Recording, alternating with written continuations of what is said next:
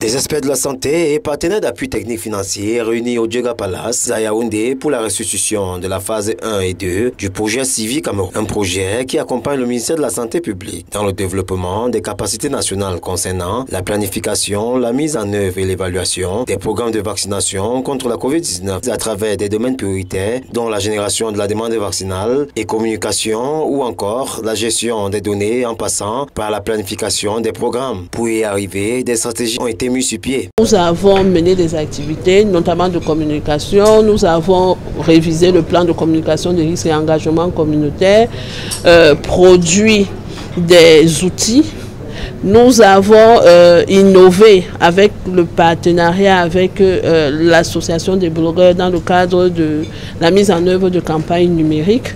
Nous avons activement lutté grâce à cette stratégie contre l'infodémie euh, qui entretient l'hésitation vaccinale. Nous avons renforcé les capacités des acteurs à tous les niveaux de la pyramide sanitaire. Avec pour objectif principal d'augmenter la couverture vaccinale au Covid-19 au sein des populations, ce travail vaut tout son pesant d'or grâce aux efforts des professionnels de santé. Vous avez pu constater que nous avons pu, grâce à cet appui, euh, produire un certain nombre d'outils qui ont permis d'adresser les spécificités camerounaises.